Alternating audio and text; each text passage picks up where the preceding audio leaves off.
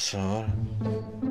Eu sempre tive aquela ideia de que desejo de grávida era meio forçado, Que a gente falava só pra poder ter um momento de gula. até que aconteceu comigo. E aí eu acordei já com vontade, assim, uma vontade diferente. Eu achei meio estranho. E aí eu fiz ele ir atrás.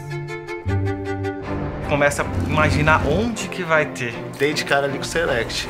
Chegou umas 3 horas da manhã, tava até meio atordoado. Aquele gosto que vem na boca, assim, já imaginando. Flan com calda de morango. E o Que Doritos, foi tá? Um tempero especial, né? Pudim com Doritos. Coxinha com biscoito de chocolate.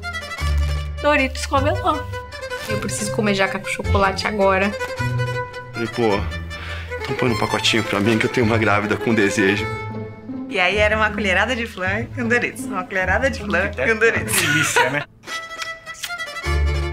Grávida é grávida, né?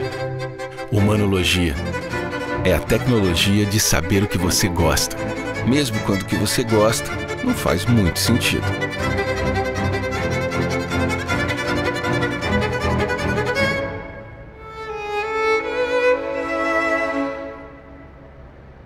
Ficou bom, Ah, visto? imagina. Eu não experimentei, passei a madrugada e o dia seguinte todo comendo jaca com chocolate. Só que agradecer, né? Porque eu Aí me sempre um fez minha super-homem, sei lá. Ninguém vai nascer com cara Não, de não, coxinha. nenhuma criança vai nascer com cara de coxinha nem com, rosto, com rostinho de biscoito de chocolate.